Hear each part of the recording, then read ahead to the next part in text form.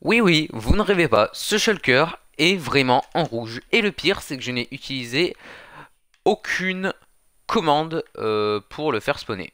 Pour le faire spawner, bah rien de plus simple, il y a juste à utiliser, bon, ici un œuf, mais bon, ça c'est juste étant créatif. Et ensuite, tu as juste à choisir le colorant que tu veux et le colorer.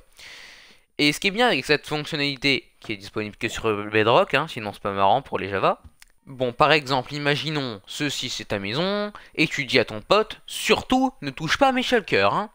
Donc lui, bien sûr, qu'est-ce qu'il va faire? Il va rentrer dans ta maison. Imaginons que là, les shulkers ne sont pas ouverts à ce moment-là.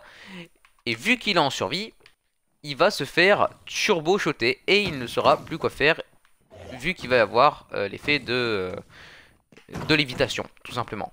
Et comme ça, il mourra dans notre souffrance, et vous pourrez récupérer son stuff.